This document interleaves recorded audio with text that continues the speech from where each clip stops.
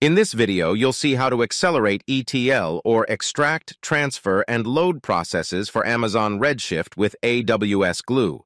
With this serverless solution, you can reduce costs by avoiding third-party ETL fees, increase data integration efficiency, and simplify common data loading operations into Redshift.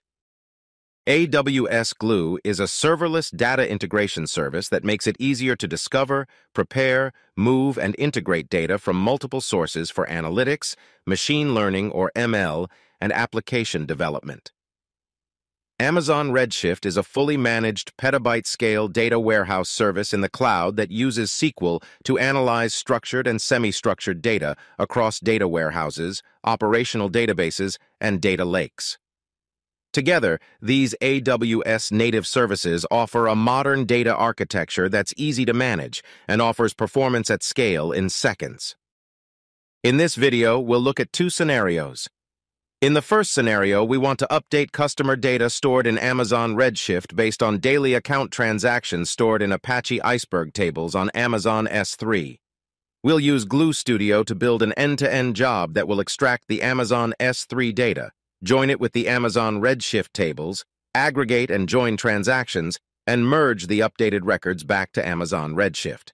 We'll then use Amazon QuickSight to help analyze the results by ranking customers based on total daily transactions. Let's get started. We'll begin in AWS Glue Studio, where we'll open the Visual ETL interface and create a new job starting with a blank canvas. First, we'll give the job a name, Next, we'll add an S3 data source node. Next, we'll configure the S3 data source properties. Let's use AWS Glue's data catalog to select the database and tables we want to work with.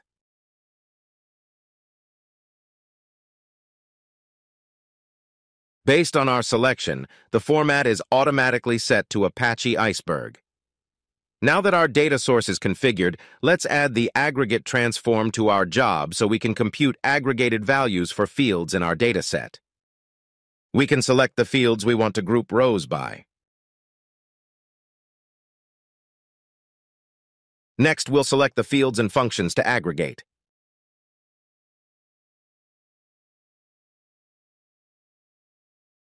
We can select from a number of built-in functions. To make our data easier to work with, let's rename the field we just created.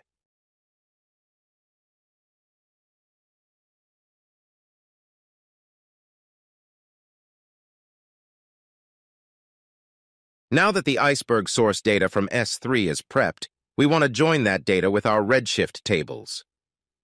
To do so, the first step is to add Redshift as a source. We can choose to access our Redshift data through a direct data connection or through AWS Glue data catalog tables. We'll use the direct data connection and select our data from the drop-down. Now we'll choose how we'd like to access the data. The single table option allows us to select a single schema and a single table from our Redshift data. The custom query option allows us to define a custom dataset using SQL from multiple Redshift tables, found in one or more schemas. We'll leave the single table option selected. Next, we'll select the schema and table we want to work with.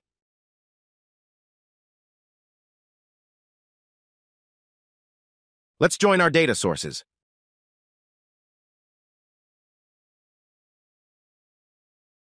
The join transform requires two parent nodes. Next, we'll add a join condition. We'll select a field from each parent node.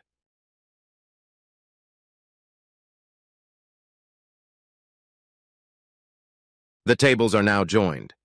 Next, let's add two derived columns so we can structure our data to show the last day's transactions and total valuation.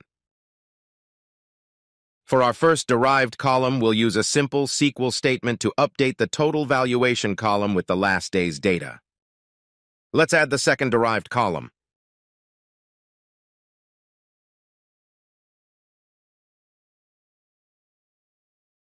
In this case, we'll create a new column that contains the last day's transaction flow plus the total valuation.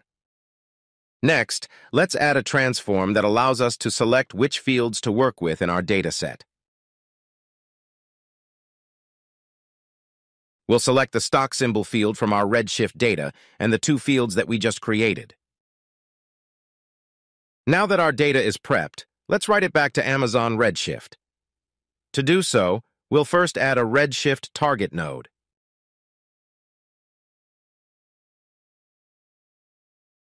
Next, we'll configure the target node properties. As we did earlier with the Redshift source node, we'll access our data using a direct data connection. We'll select the same schema that we used in our source node. Now we'll select our destination table.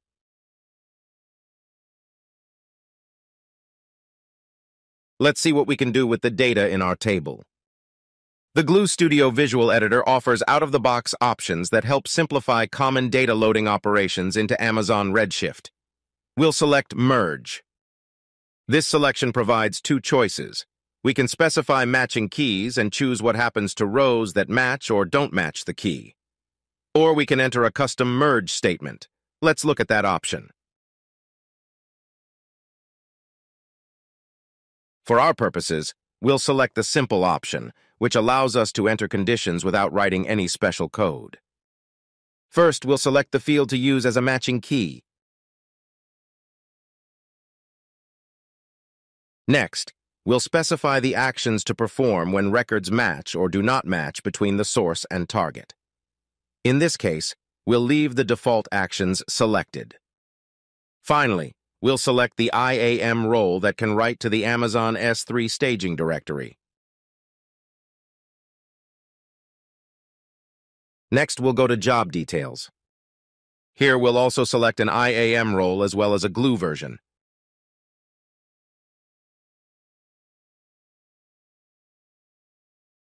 Let's save and run our job.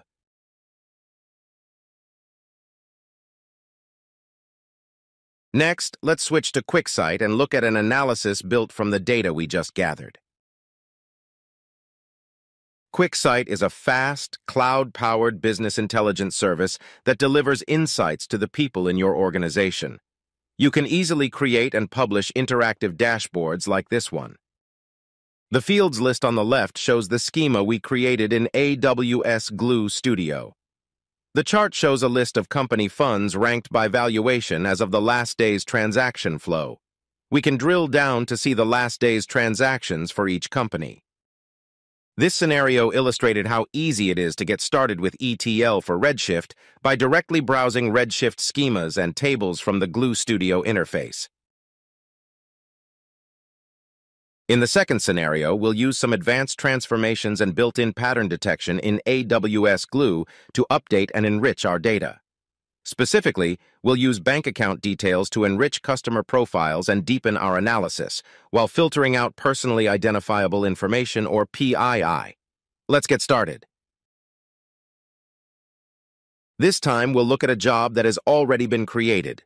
This job uses the same data sources as the previous job, but includes updates and additional elements that will help us extract the information we need. Our data source node is connected to the same Amazon S3 data source. A detect sensitive data node has been added for this scenario.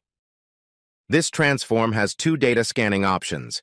You can find sensitive data in each row by scanning the entire dataset, or find columns that represent sensitive information by scanning a sample. In this case, we'll look for sensitive data in each row. We can also define the types of sensitive information to detect, in this case, we're selecting specific patterns to detect. We can choose from a number of out-of-the-box patterns. For this job, we'll look for bank account patterns in two geographic regions. Finally, we'll choose actions to take on detected entities. We're going to enrich our data with the results. Let's look at the next node. This transform extracts a new column from the PII detection results. We've connected the same Redshift data source that we used in the previous scenario with the same schema and table. Next, let's look at the join transform. The join is configured as before, but this time we've selected our PII column extraction as the second parent node. In the aggregate transform, we've chosen two new fields to group by. In the Rename Field transform, a field was renamed to help keep our data clean. The pivot transform will help restructure our data for aggregation by converting rows into columns, allowing us to extract data by regions. This information will be written to our Redshift data target. Let's take a look. As before, we're using a direct data connection to access Redshift data. We're using the same schema, but have selected a new table to work with. Again, we're using the merge function. Let's quickly review the remaining details. Now we'll save and run this new job.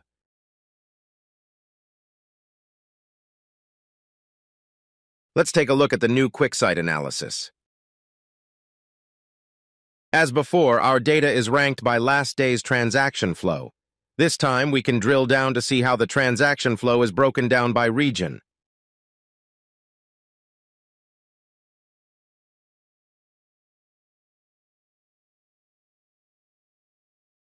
You've just seen how to accelerate ETL processes for Amazon Redshift with AWS Glue. You can learn more about this topic in the description and links for this video. Thanks for watching. Now it's your turn to try.